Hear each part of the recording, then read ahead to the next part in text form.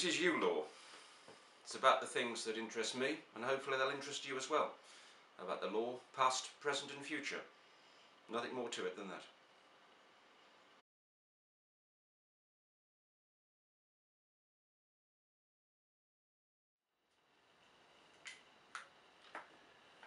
On the 13th of August 1964, at exactly 8 o'clock in the morning, two men were executed. Crime was a common or garden crime, if you can call murder that. A man was beaten and stabbed to death in his home. The two men responsible for it, Peter Anthony Allen and Gwynne Owen Evans, 21 and 24 years old, were petty criminals.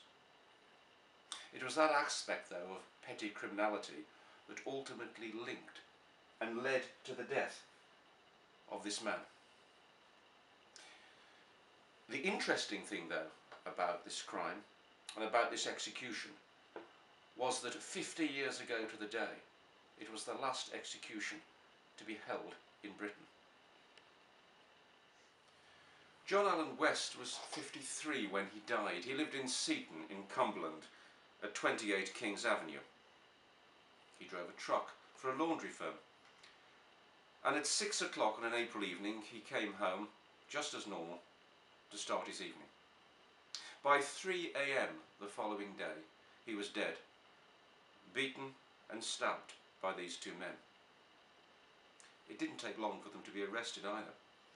Within two days, both of these men were arrested, separately and independently, and a very short investigation happened. The evidence was weighted against them, and in due course, 18 weeks after the death of Mr. West, these men were hanged. In fact, the physical act of execution uh, was an interesting area. In 1964, things had been refined. Before then, there was a longer form of hanging, where people would literally dangle for minutes, sometimes half an hour, and loved ones or friends would try to hasten their death during a public execution by pulling down on their legs. That's where the expression hangers on came from. In 1964, though, uh, when Evans and Allen were awaiting their deaths, things were very much specialised. Hangmen took a pride in their work. In fact, the neck was broken within a second and sometimes quarter of a second. That didn't necessarily mean that death occurred straight away. In fact, death, according to the medics, occurred within about three and a half minutes. But because the neck was broken so quickly, uh, the victim was in a deep state of unconsciousness whilst three and a half minutes approximately elapsed and they suffocated to death. The rope was made of hemp and on the night before the execution it was stretched to make sure that it was absolutely calibrated to achieve the most efficient and quickest death possible. This is what waited these men. 24 year old Evans lived a similar life to his ultimate co defendant, Mr. Allen. Evans 24 when he was hanged, had had a number of jobs. In fact, he'd tried to get positions in the armed forces, but had been discharged on a number of occasions.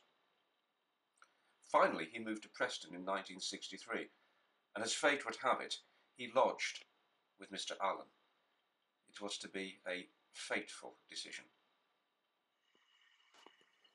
Peter Anthony Allen was a little younger. He was born in 1943. He'd lost jobs as well and he also had enlisted as a junior gunner in the Junior Leaders Regiment of the Royal Artillery, but was discharged as well. He married in 1961 a cinema usherette, uh, and they carried on their lives, his a life of petty criminality. When Evans moved to Preston, he lodged with Peter Allen and his wife. As the car screeched away into the night, the neighbours at number 28 Kings Avenue knew there was something wrong, something seriously wrong, and the police were called. It was a manna from heaven for the investigative detectives. Because at the scene, they found a number of things. Firstly, they found a coat, a treasure trove of evidence. In the coat was a name label. Yes, it had Mr. Evans's name in it. In one pocket was a medallion. Got worse. Mr. Evans' name was on it. Wasn't the end of it. In one of the inside pockets of the coat was an army memo form. Now, on this form was the name of a woman, a Miss O'Brien. And through pretty quick detective work, it was discovered that this lady had a very close association with, you're ahead of me, Mr. Evans. So there it was as far as he was concerned. The coat, the name label, the medallion, the army memo document, and next to them, lying the dead and bleeding body of Mr. West. Things were looking bad for Mr. Evans.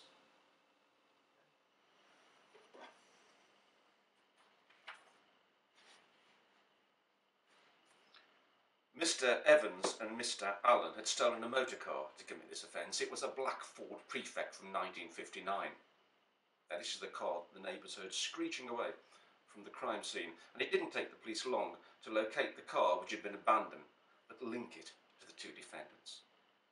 So they were taken into the police station, and at the start of it, Allen denied all knowledge of what had gone on. But then he was told that Evans was in custody Allen's version changed. What he said was that Evans had set this whole thing up. They were both short of money and they needed money desperately.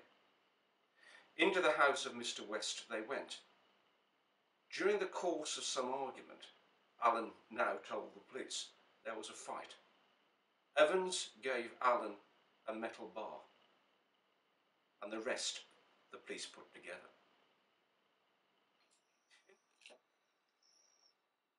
The death penalty was actually on the way out. In 1963, there had only been two executions, and in 1964, there'd been none to date. And so these two men, Mr. Allen and Mr. Evans, sitting in their cells following conviction, genuinely and perhaps realistically thought they'd be reprieved. Debate was happening throughout the country, not just in Parliament, but in every pub, club, and sitting room the big issue was, how long would the death penalty last? Indeed, its days were numbered, but so were the days numbered for these two defendants. On the 20th of July 1964, Lord Parker, along with Mr Justice Widgery and Mr Justice Wynne, as they then were, considered the appeals of the defendants. After careful consideration, they came to their decision appeal refused. They were of the view that there was nothing that they'd seen which could interfere with the course of justice. But even then, with the campaigning and the pressure to abolish capital punishment reaching fever pitch, these two defendants, as they sat in their cells, felt that they wouldn't necessarily have to face the noose. But as time went on, their hope receded. It was really a roller coaster for them. A few months earlier, a brutal Lancastrian murderer had been reprieved. And so yet again, thoughts were high about these two men living. But as the day came towards their executions, there were campaigns and protests throughout the country. But in reality, outside the prison, there were two small protests. The first, that they should be hanged. The second, that they shouldn't.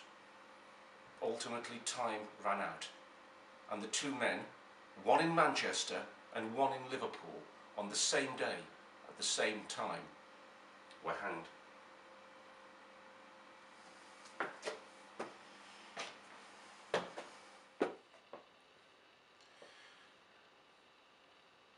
You wonder what the minister responsible for reprieving these two men was thinking when he considered their cases. It was Alec Douglas-Home, an experienced man. this case was never about a miscarriage of justice. It was never about two people being wrongly convicted. They were quite properly convicted. But what this case was really about was whether these two men should die when everyone knew the death penalty was coming to an end. In August 1964, it was virtually a throw of the dice as to whether you were in the wrong prison, or the wrong area, or the wrong court complex as to whether you lived or whether you died. Some areas were simply not executing because they knew it was the end of the death penalty. Problem was, for these two men, was just like Mr. West, the victim. They were in the wrong place at the wrong time.